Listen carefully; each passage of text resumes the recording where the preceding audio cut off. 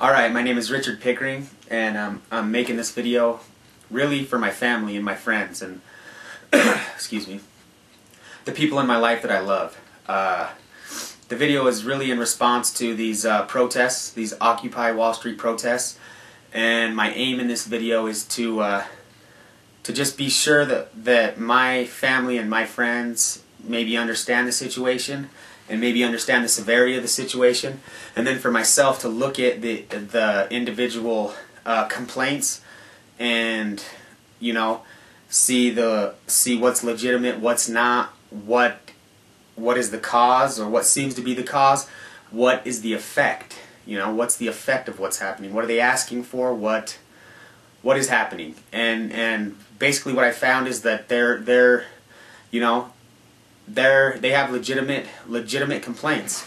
Uh, you know, uh, one of the main ones being that corporations are greedy. You know, Wall Street is greedy. Of course, Wall Street is greedy. I mean, that's that's not really a question. Do they do immoral things and uh, are they corrupt, liars, cheats, thieves? Absolutely. You know, I mean, that's just the truth. That's a legitimate complaint. Uh, so what is what? Is, I mean what is to be done? Well, I mean, it's kind of a hard question, but it's one that you could ask and it's one that we could answer. If you really look at the situation and why, I mean, you have to ask, why are corporations greedy? Why is Wall Street greedy? And, and when you ask that question, then it brings you to how is how are these businesses set up and how is it different from a small business that usually isn't greedy and usually is uh, fair and you know has good values and morals and and you know, the difference really lies in the fact that uh, when you when an entrepreneur starts a business and they start a small business, it's an individual, or or you know a small group of individuals who run the business themselves and have uh, have direct direct contact with their employees. So they have a moral and uh, compassionate connection with their employees. So when they make decisions, they make them with that with with their own morals and and individual situations tie in and that's how they make their decisions. That's how they pay people. That's how they get the insurance they get or you know that's how they make their decisions is based on individual cases between them and their employees. And they know their employees so there's a there's a there's a intimate connection between the employees and the, the owner of the business. So their decisions are usually a lot more on a moral basis of what's right and what's wrong as far as uh, you know morals and values. So how come that doesn't tie over to a corporation? Well, the, I mean the the real reason is is because when a business gets big enough that they become a corporation and they get stockholders and what happens is they they they no longer have uh, individual relationship with employees and they never no longer have an, usually an individual uh, person making decisions. What they have is stockholders and then they'll have a board a small group who makes decisions for the collective for a collective group for for their stockholders and for their company.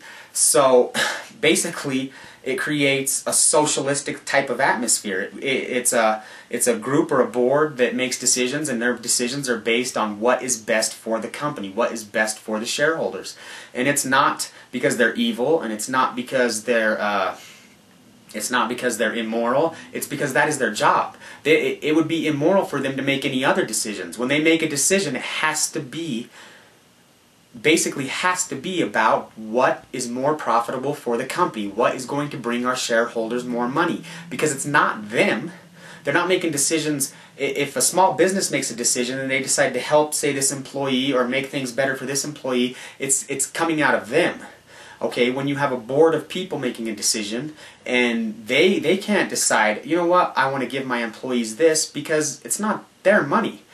They are there being paid to make a decision that is for the collective group, for what is better for everybody what is better for the company itself, what is going to move the company forward, make more profit, and, and be a better return for the shareholders. So that's how they make their decisions. And, and, and it's not wrong and it's not immoral.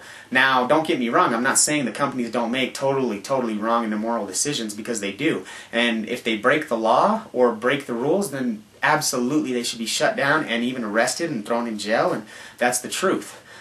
but the decisions they make once it's become that type of situation is I mean it's the same reason that socialism doesn't work in an economic for an economic policy for a country because you make collective decisions instead of individual decisions and collective decisions are cutthroat and that's how corporations are and that's why they are the way they are uh, so my answer to that is what what can we do what could we do to make things better and my my only real answer is, you know, uh, prosecute people who do things wrong, definitely, and handle the legal end of it, which we don't do. I mean, who? They haven't thrown people who've done immoral things in jail. Okay, these people who took billions of tax dollars and just kept them as bonuses or whatever. If if it was against the law, which I don't think it was, but whatever. I mean, if if any of these people have broken the law, then send them to jail. You know, I mean, totally prosecute them. I mean, take them to court first. Don't just uh, send them to jail. But yeah, you know, uh, make sure take them to jail, give them a trial, and lock them up. But my my my only true answer to to kind of fix the the main problem that I see the corporations have really is that they make a decision and one of their major financial decisions usually has to do with going overseas and that's fine to have foreign trade, but our problem is that our government doesn't properly regulate foreign trade, which is insane because it's one of the few powers given to them in the Constitution. They have the power to regulate foreign trade. They don't do a very good job of it because we trade with countries like China. We trade with countries who exploit their people. We trade with countries that have no regulation. They uh, have, I mean, you know, every, everybody knows. We kind of look the other way and shrug our shoulders and say whatever, but the truth is, is that we trade with countries that enslave their people, and that's our main problem as far as that goes. We can't compete because we're allowed to trade with countries that don't have the regulations we have, don't have to pay their people, don't have to give their people a safe place to work, don't have to give their people anything, really. I mean, they can get them sick, work them to death, and kill them. I mean, that's the truth. And we trade with these countries, and that's that's where our real true problem lies: is the fact that we trade with countries that uh, enslave and are immoral towards their people and don't have freedom. And that's something the federal government, and that's something that we could definitely change. And I think it would help the entire. I mean, there's still a lot of problems on Wall Street. I'm not saying that, uh, but this is this is a uh, a fixable situation that doesn't require revolution, which is basically this is what's being asked for. But anyway, I kind of need to move on because I'll, I'll go on forever. But I believe one way to fix that situation is to limit trade with countries that are willing to regulate have regulations for their people and, and, and pay their people and take care of them and treat them as human beings. And in doing so, it costs more money to make objects and products because it costs more money to have regulation than actually pay people. So then we could actually compete. I mean, that's just the truth. All right. So the next uh, the next complaint that a lot of uh, these these kids and people that are occupying have is is the fact that education, the price of education is through the bank, or I mean through the roof, and they owe, you know, hundreds of thousands of dollars in student loans. And this is a pretty legitimate complaint. I mean, it's it's it's really it's a really horrible situation. You know, I've I've looked into it, and you want to know something that nobody talks about it, and nobody says anything about it, but the education bubble the education bubble dwarfs the housing bubble. It's it's it's unreal. The the the price of education has risen more in the last 20 years than anything else on planet Earth. It has shot up through the roof. And so what is the complaint? The complaint is these greedy bankers left me with a bunch of debt.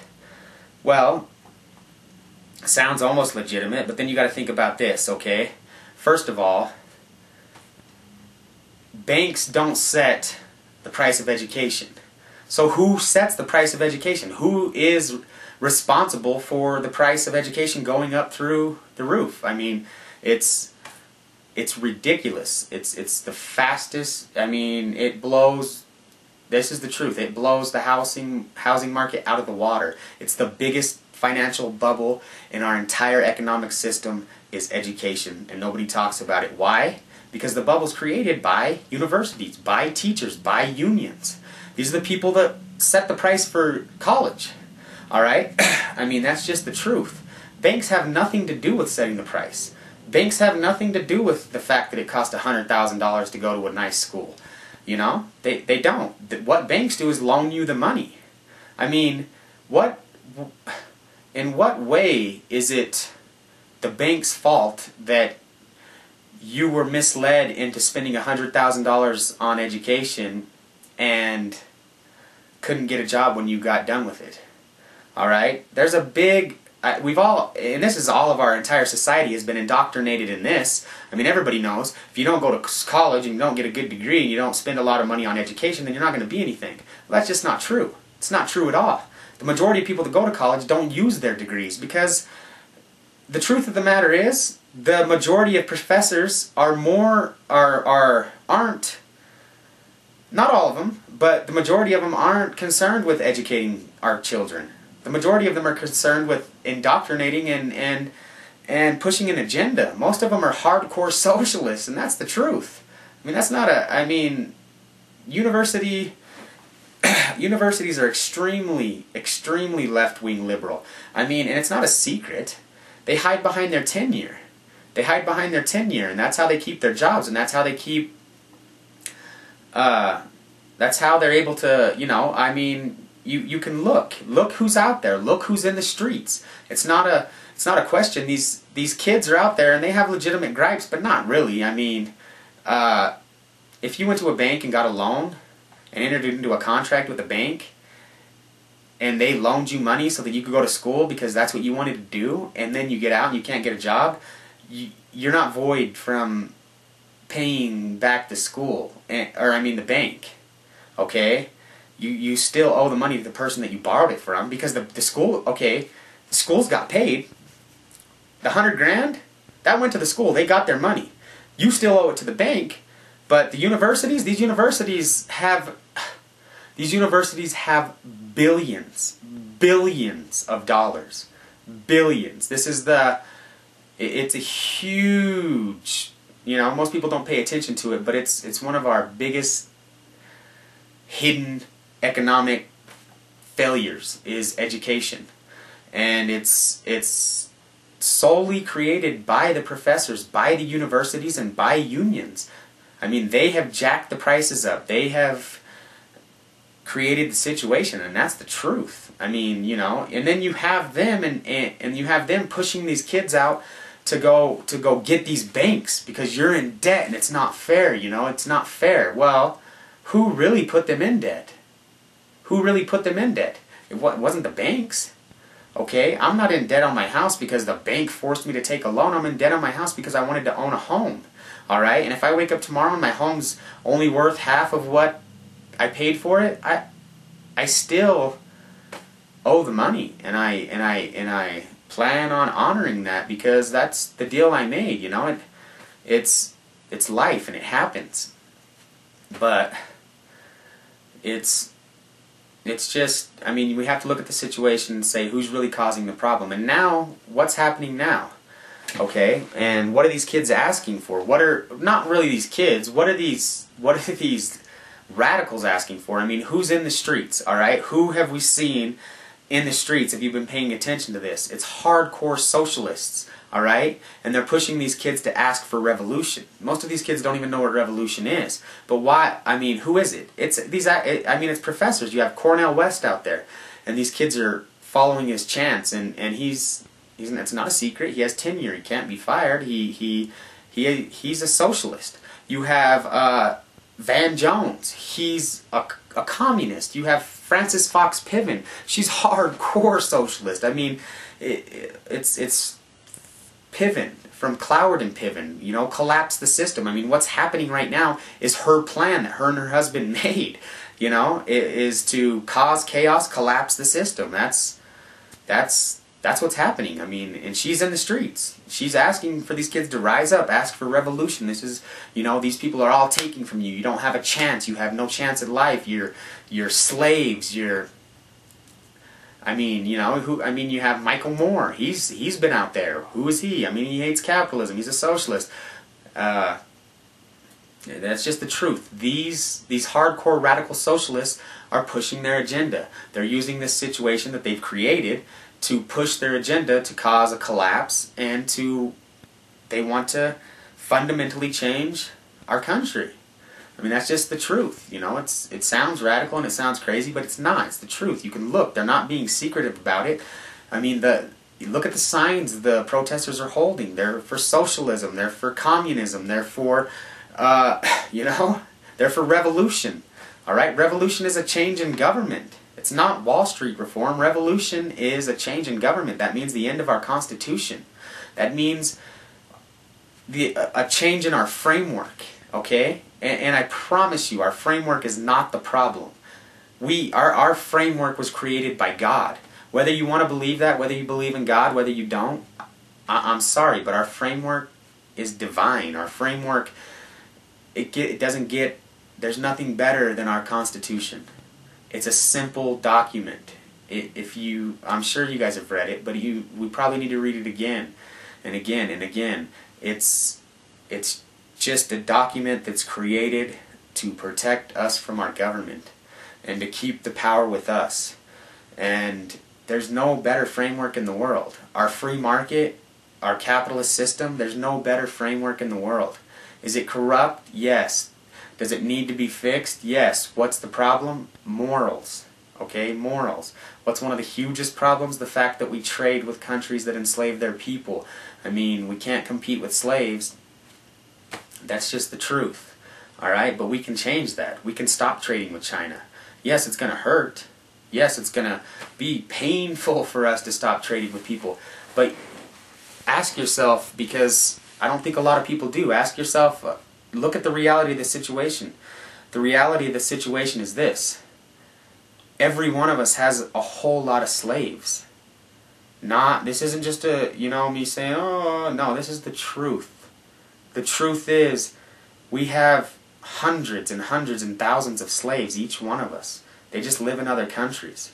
And they're beaten, and they're starved, and they are children working in sweatshops, and they're killed, and they work in conditions that we wouldn't imagine for dollars a day so that we can have our iPhones and that we can have our products and our materials. I mean, that's the truth. Each and every one of us has slaves. They're just, we don't have to whip them ourselves. We allow their own people to do that for them. But trust me, you know, that that's the truth and it sucks, but that that's the truth and we need to move away from that. That's our problem. All right? You can't you can't make it in life successfully if you're not a moral human being and you don't do moral things. So we need to look at the situation. What's created the situation? Well, the fact that we have made decisions really the fact that we've chosen to just be asleep and allow a, a, greedy, a greedy group of people to make decisions for us that we probably wouldn't have made ourselves. but you know, it's it's silence in the face of evil is evil is evil itself. That's that's Dietrich Bonhoeffer, and if you don't know him, then I I totally uh, I don't know the word. I lost the word, but you should check him out. Dietrich Bonhoeffer amazing. He was uh, he was a preacher and uh, you know he was clergy in Nazi Germany, and he stood up against Hitler and he stood up he stood up against Nazis and it's just amazing. But anyway, uh, so what is the situation creating? You know that's that's the last part of this, I guess. What is the situation creating? Well, the situation is creating chaos all right, it ha- I don't. I am worried because I don't even really think it's begun yet. To be honest with you, I think it's going to get worse. I think they're trying to create us and them, us and them, you know, class warfare. Uh, but what's look at what's happening with the police. Okay, what's happening with the police? Well, if you've been watching it, then you know that the police are just pepper spraying people and and, and beating people up, and and and then you have to ask yourself, what what is what is that doesn't make sense to me. All right, our police officers are not are not that. Not saying all of them aren't, because I'm sure there's some there's some bad ones, but there's some really good ones too. These are men who give. These are men and women. I'm sorry, men and women who who give a lot and don't get very much. I mean, that's just the truth. They risk their lives. If you look at these videos of, I mean, this is what's happening. They're being pushed against, pushed against, pushed against, and then when they push back, they're being painted as criminals. That they're being criminal. That they're, you know, and and they're trying to. And these hardcore socialists, if you listen to them, this is what they're trying to create. Is is there you I've even seen it a few times. They're calling the cops the state the state is against you. They're trying to create this hate towards cops. And, they, and, it's the same thing they did in the 60s, you know, with the pigs, the pigs, the pigs. Well, now it's it's not really acceptable to, to say that yet because then that's going to bring people's memories back to 19, you know, the 60s. But that's what they're doing. They're creating discontent and a hate towards police officers. If you watch these videos, you'll notice that it just automatically goes into the cop cop's behavior, but it never shows what provoked the police officer. So when you have that situation, you don't get to see the whole video other than what the police officers are doing in reaction to whatever had happened, then it's it's just false. It's not real. All right? If you don't see the whole video of what happened, then you can't believe it.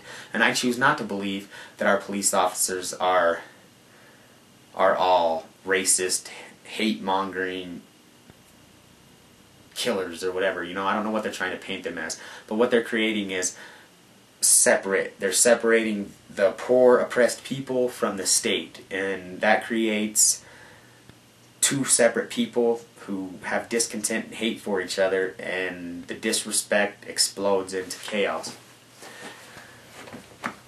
And that's just the the truth. But I don't know. My my main concern is that they have legitimate they have legitimate uh, concerns. They have legitimate gripes, but what they're asking for is not legitimate. Okay, what they're asking for is, and what they're being pushed into is revolution, and that's what this is about. All right, it's just the truth. There, it's it's this isn't the end of it, and it's it's ridiculous. I mean, you can go and watch the kids right now, and the majority of them don't have a clue why they're there. And they're just, they're being used. They're being used by socialists and radicals who want to cause chaos in order to make a situation that allows them to collapse the system and in doing so when you collapse the system you're able to put in something else and that's what they're trying to do. And they're using our kids. They're using our kids to as as useful idiots. Useful idiots. I mean the same thing as the Soviet sim I mean that's look up. Look it up. They're being used. They're being used to push other people's agendas. And some of them are indoctrinated so much that they have the same agendas. But they don't understand the reality of the situation. Okay, they're they're being misled, and that's just the truth. So don't don't buy into it. Is basically what I'm asking. Don't. I love my family, and I want you guys to know that we we have to stick together. We have to stick together because the country is is deteriorating and it, a lot of it just has to do with the morals and values of people and the loss of God, and that's just the truth. And yeah, that's not politically correct or you know whatever, but I don't care. I, I believe in God. Our country was founded with divine providence, and, and uh, it's God. It's freedom for the world. Our, our country brought freedom to the world, and we have a responsibility to stand up for what's right regardless of whether it's uh, whether it's cool. All right, yeah, the protests are cool. The protests are a joke. They're an embarrassment. Okay, it it, it shows the the ignorance and arrogance of our country. I mean, these kids are complaining that they don't have equal rights, that they don't have freedoms, that they don't have. Seriously? Seriously? You feel like you don't have equal rights? Do you know what that means? Do you want to, you know, the uh, poverty line in the United States is 22,000 for a four, over 22,000 for a four, four family, or four person family. It's a dollar a day in the rest of the world. $30 a month. It's $1,800 a month. More than $1,800 a month in the United States. That's our poverty line. The rest of the world, it's $30 a month. All right, they there's countries and there's places in this planet that don't have a choice and don't and, and can do anything they want in their power and they can never better their lives. We live in a country where we're handed freedom on a silver spoon. And we don't even know it because we've never seen any different. Okay? Look at the world. Look at the world and understand that we have a responsibility to uphold this and to do what we can to pass it to more of the world, but also to stay out of their business if they don't want it. All right, there's big pieces of the world that don't want it, don't want what we have. It's not our job to impose it on them, but it's also not our job to be involved with them if they're not going to respect the God-given rights of their people. All right, people have the right to life, liberty, and the pursuit of happiness, so long as it doesn't infringe on someone else's liberty or life. And if the if a country is not willing to respect that, to step back and allow people to have the rights that were given to them by God, government does not give you rights. Only God gives you rights. Nobody can take them from you. All right? They're not given by the government. They're not given by anyone. When you were born, God God brought you into this world and gave you rights. And and they're every human beings and we don't have the right to take advantage of other people's so much as they don't have the right to take advantage of ours. That's just the truth. And we need to really educate ourselves. We need to really stand up for what's right. It's not easy. It's not it's not. It's it's hard. It's embarrassing. It, it's uncomfortable. It's oh yeah, you're crazy. You're psycho. No, no, I'm not. I believe this country was founded by God. I believe this country, when it was founded, it brought freedom to the world for the first time ever in its existence. Ever in earth, never in earth, had ever there been freedom until the United States of America every other government ever existed was brought in by force. This is the first government ever, ever, ever in the existence of planet Earth, as far as we know, that was accepted by the people and ratified by the people and created by the people. And in so doing, the power was held by the people. And that's freedom, that's liberty, that's what we have and we all have it. I don't care if you were born into poverty, I don't care if you were born rich. If you were born in the United States, you were born with a silver spoon in your mouth. Whether you're the poorest kid on the street or whether you're the richest kid in the richest house, we were born with the silver spoon of liberty, with a choice to be and do what we want. The rest of the world doesn't have this. And the existence of Earth in the existence of Earth as a planet, 95% of people have been slaves. That's the truth. 3% out of the 5 that were free are alive today. So before us, there was 2% of the world, the entire Earth's population ever, that actually made decisions for themselves. Alright, I could go on for days and days, and I probably already went on way too long, but I love you guys, and I really, I really hope that you're willing to stand for what's right in the face of embarrassment, in the face of diversity, in the face of political correctness. It, we need to be done with political correctness. All right, there are, there are things in this country, and there are forces in this country, and people in this country that don't love the liberty we have and don't share the same values as us. It's not okay, and we don't have to pretend like it is anymore because that's what's killing us from the inside out. We got to stand up for what's right.